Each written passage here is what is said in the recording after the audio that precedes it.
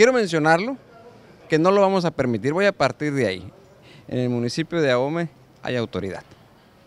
Estas personas fueron detectadas por elementos de vialidad, se pidió el apoyo al grupo de reacción de la Policía Preventiva y se logró la detención de ocho personas. Aseguramos ocho vehículos que se encuentran en una pensión.